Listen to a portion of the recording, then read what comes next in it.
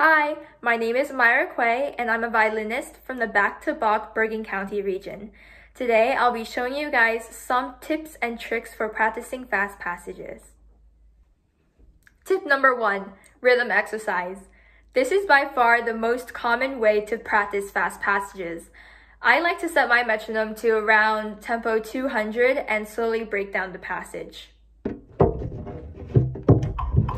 Now that I set my metronome to 200, I'll show you guys a sample passage.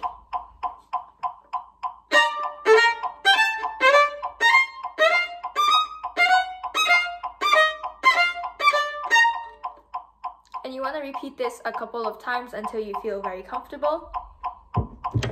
And the trick for this uh, for this practice exercise is making sure that your rhythms are as precise as possible. So I'll demonstrate it one time without using the metronome.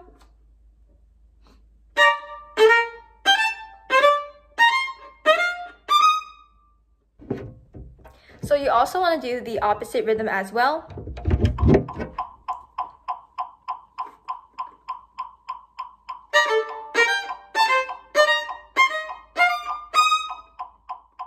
And practice that a couple of times.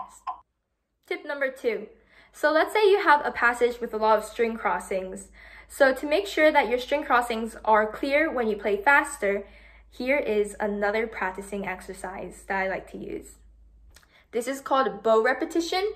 So taking the same passage that I played before, we're just gonna repeat um, each note three times.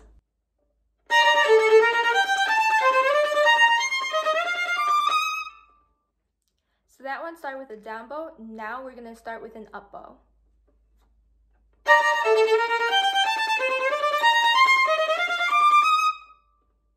Tip number three.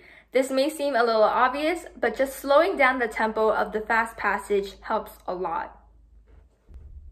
So taking the same passage that I played before, I'm just gonna practice it really slowly and make sure that I listen to my intonation.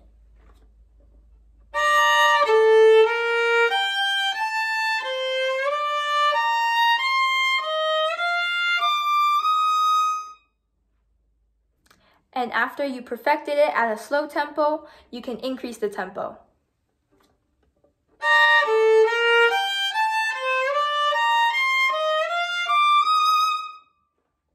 And putting all those three tips together, here is the final product.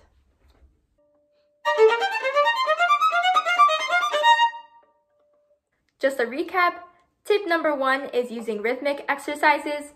Tip number two is using bow repetition. And tip number three is practicing at a slower tempo. And make sure that you pay attention to your intonation on all of those three exercises. Thank you for watching and happy practicing.